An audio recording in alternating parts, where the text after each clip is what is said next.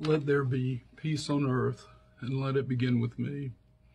Five years ago, there was an interreligious gathering at the 9 11 memorial in New York City.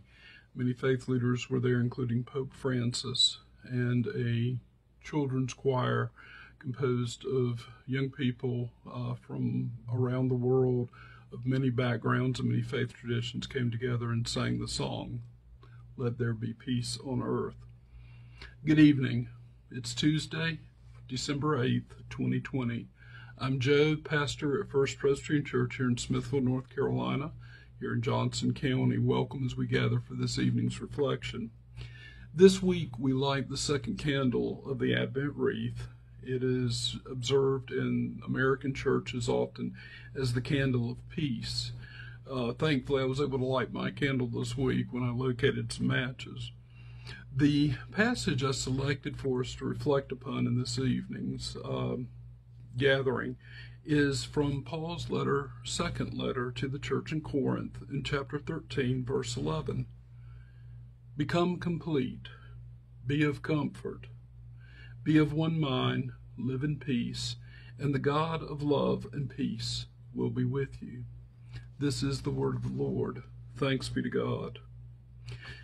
As this is the second week, uh, second Sunday in Advent, um, we think about peace. We reflect on what that means.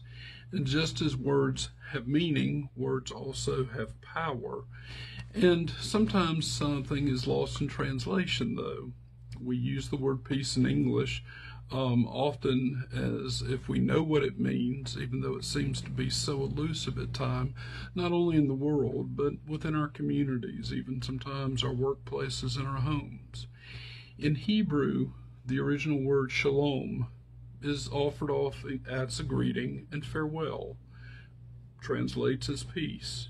In Greek, the word irene, or we might know it better in English as the proper name Irene, uh, means simply the absence of conflict, but that doesn't quite capture the whole meaning of what the Jewish community understood peace to be. Scottish theologian and writer William Barclay, used by many Sunday school teachers, tells us that in Hebrew, this word shalom, peace, is never only about a negative state, as if it's just simply the absence of trouble and conflict.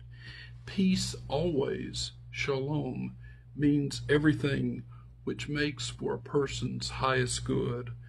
In the East, when somebody speaks in Arabic and says salam, uh, related to the Hebrew language and the word shalom, it is intended that they wish the other person not just the absence of evil things, but that they wish for them the presence of all good things. In the Bible, peace means not only freedom from trouble, it means enjoyment of all good things. But in Hebrew 2, where peace might be defined in terms of material prosperity or physical safety, these are important things for us. Greek, the New Testament, the New Covenant, carries that sense of peace a little bit further for us.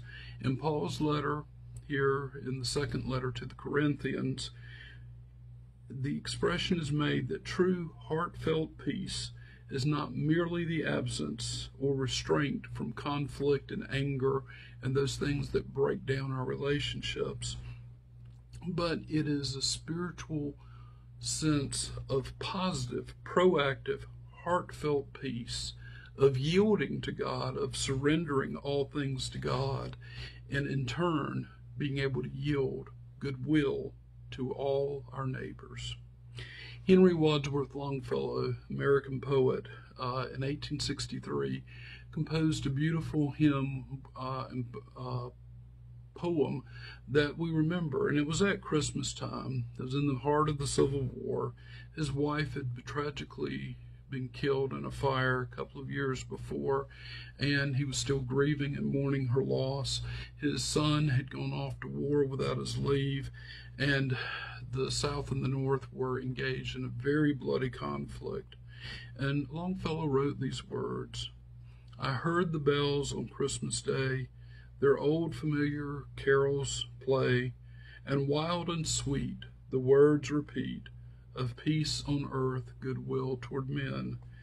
and in despair I bowed my head. There is no peace on earth, I said, for hate is strong and mocks the song of peace on earth, goodwill to men. And then pealed the bells more loud and deep. God is not dead, nor doth he sleep. The wrong shall fail, the right prevail, with peace on earth, goodwill to men. With God the wrong shall fail, the right prevail. From the mouths of poets and prophets, from the mouths of apostles and angels, peace on earth and goodwill to all, everywhere.